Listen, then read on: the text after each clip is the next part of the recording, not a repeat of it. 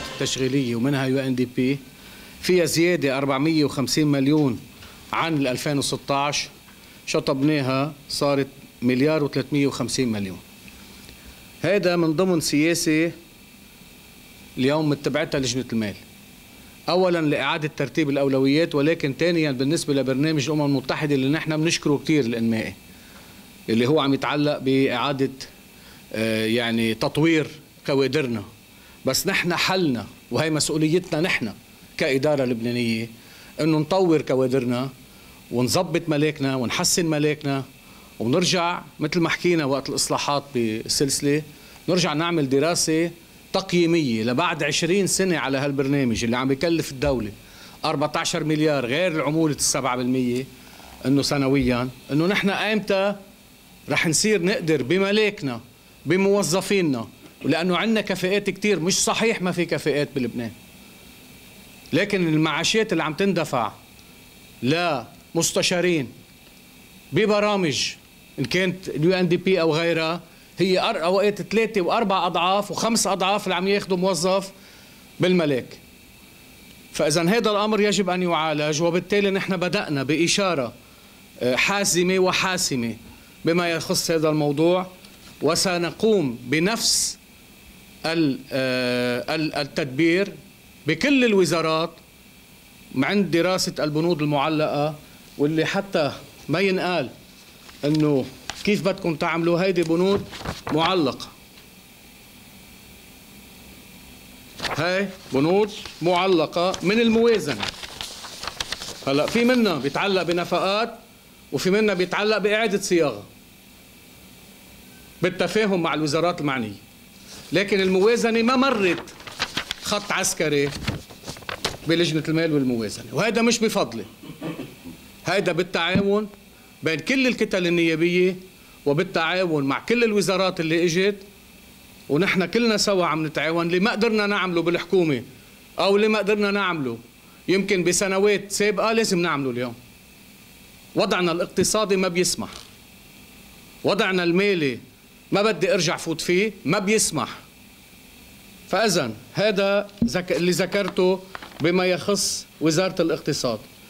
كذلك الأمر حكينا بالإيجارات. عندي مبنى بوزارة الاقتصاد سألناه عنه مشكور معالي الوزير وضح أنه من 12 سنة. الإيجار الملحوظ بيوصل للمليار 924 مليون. طيب هذا الإيجار بيقول بتقول وزارة الاقتصاد أنه هي تقدمت بطلب للحكومة بأنه تبني بستة مليار تأخذ اعتماد لبناء مركز لإلها بيوفر علينا من هلأ إلى ما شاء الله هالمليارات اللي عم تندفع سنويا إيجارات عم تروح هيك. وبالتالي نحن أخذنا طلبنا من وزارة الاقتصاد تبعث لنا ملف الأرض يلي خصصت من يعني ما راح يندفع حقها. خصصت لهذا البناء. وبذات الوقت نطلب من الحكومة تعطينا هالمشروع يلي عم تحكي فيه حول جمع كل الأبنية أو كل المقرات اللي لها علاقة بالإدارات الدولة بمكان واحد. شفنا امبارح دايرة الإحصاء مليارين. في بيناتهم شي مليار و200 مليون هدر أبنية ما استلمناها. عم نشوف اليوم بوزارة الاقتصاد إنه في إمكانية للتوفير كثير كبيرة والوزارة كانت طالبة ورفض طلبها. شفت أنا مجموع الاعتماد اللي بيتعلق بالأبنية المؤجرة الرسمية بيوصل ل 114 مليار. فينا نوفر بس بدنا قرار.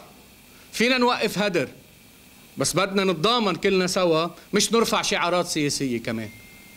كمان علينا نعرف إنه مش بالشعارات السياسية بنعمل الوفر. كثير مهم التحرك يصير بس التحرك يكون هادف. من ميل لإعطاء الناس حقوقها بخلق بدائل عن الضرائب. ما بدكم تعطوا الناس حقها بدكم تلاقوا لها بدائل بدائل هي توقفوا الهدر. نحن بثلاث أشهر اشتغلنا بلجنة المال. وصلنا لخلاصات كثير مهمة رح نضعها بتصرف الهيئة العامة. لذلك مثل ما قال فخامة الرئيس الموازنة أساسية لتأمين حاجات وامكانات الدولة اللبنانية مع تأكيد على حرصنا بحقوق الناس وحقوق المواطنين. ما رح حطكم بعد أكثر لأنه حكينا برواتب كمان بحدود 3 مليار و808 مليون هودي رواتب متعاقدين. يعني هو بيمرقوا بمجلس الخدمة المدنية.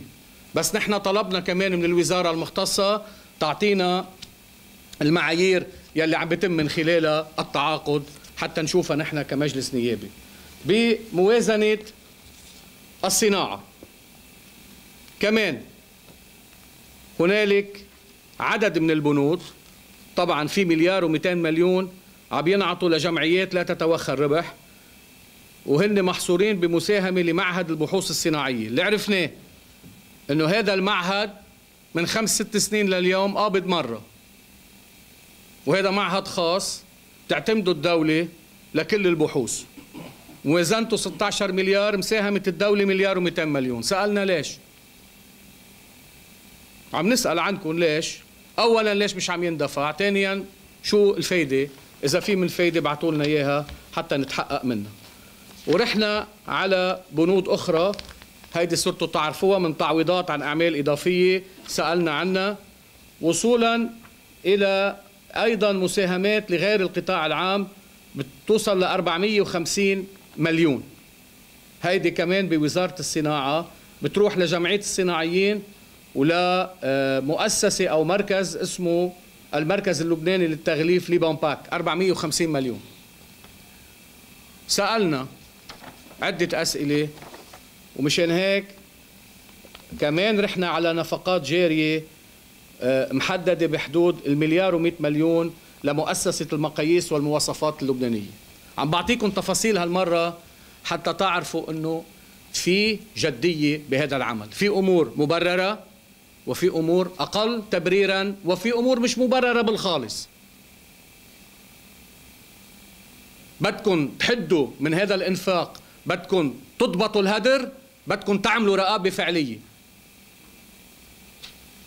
رحنا على التنمية الإدارية.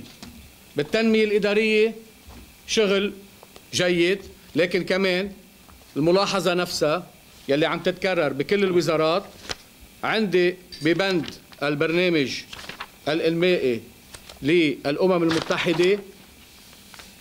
كمان عندي آه، مبلغ يصل إلى 3 مليار و941 مليون. طيب سألنا عن الملاك الرسمي للوزارة قال ما في؟ يعني كل اللي عم يشتغلوا فيها هن مستشارين؟ ما عندهم صفة إذا بدكم ملزمة للدولة اللبنانية على هذا البرنامج وهيدي كلفتهم. طلبنا أن يأتينا مشروع خي هون ذاتهم يتعمل ملاك يصير في موظفين بالوزارة توظيف رسمي. خاضع لشروط القوانين اللبنانية والخدمة مجلس الخدمة المدنية. من دون ما تتأثر عملية الإنتاجية. حكينا بأمر كتير مهم كمان. تبين عنا ومشكورة وزارة التنمية الإدارية عم تقوم بهذا المجهود اللي هو مساهمات في نفقات أخرى واصل ل 18 مليار و570 مليون. هيدا لإنشاء معامل نفايات صلبة. تعرفوا أزمة النفايات. طيب ادرسوا موازنتكم لتعرفوا كيف بدكم تحلوها. هيدا سألنا عن هالبرنامج وأجانا أجوبة أنه نعم هنالك عدة مساهمات من الاتحاد الأوروبي توصل هلأ ل 35 مليون آه، يورو. وهيدي لينعمل فيها معامل على ثلاث سنوات بكافة المناطق اللبنانية بدأت ببعض المحلات وبعدها لم تبدأ في أماكن أخرى. سألنا ليش؟ لأنه بعد في منه 24 مليون يورو ويقال أنه في عملية إجرائية لحتى لتأكيده. والبلديات ما كانت رح بحكيها مثل ما هي مثل ما قلت للوزارة. بلديات مثلا بجبل لبنان ما كانت عم تتعاون بالقبل لأنه كان في أو غيرها كمان ببعض المناطق اللي كان فيها سكلين لأنه كان في تعاون مع سكلين. هيدي القصة بدنا نخلص منها. نحن مش مستعدين. كل لحظة والتانية تنكب زبالة بوجه الناس وبوجهنا بالطرقات. هذا المشروع لإنشاء معامل ومعالجة نفايات الصلبة. بشكل صحيح وسليم وفقا للمعطيات ووفقا للشروط الدولية. وبتمويل خارجي يجب أن يبدأ وفورا وهو أهم بند بالموازنة. من هيك اتفقنا نحن وزارة التنمية الإدارية والقيمين على هذا البرنامج. إنه راح يكون في لجنة من لجنة المال والموازنة راح تتابع وراح ينعمل جلسة خاصة للجنة المال. مع المعنيين حول هذه المعامل. ونحن ما رح نقبل بأعذار من اليوم وطالع. تنكفي بسياسة المطامر. سياسة المطامر لازم تكون يعني بحد أقصى تنتهي خلال سنة.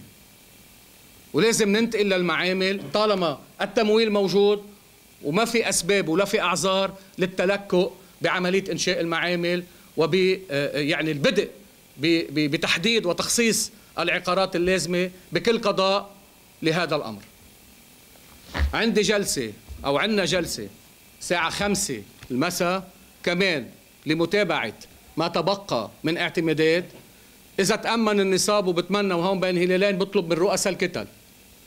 بتمنى مرة الماضي السيد حسن نصر الله آه، سماحة السيد سمع صراخي وبعتقد سمعتوه كلكم وأنا بتشكره.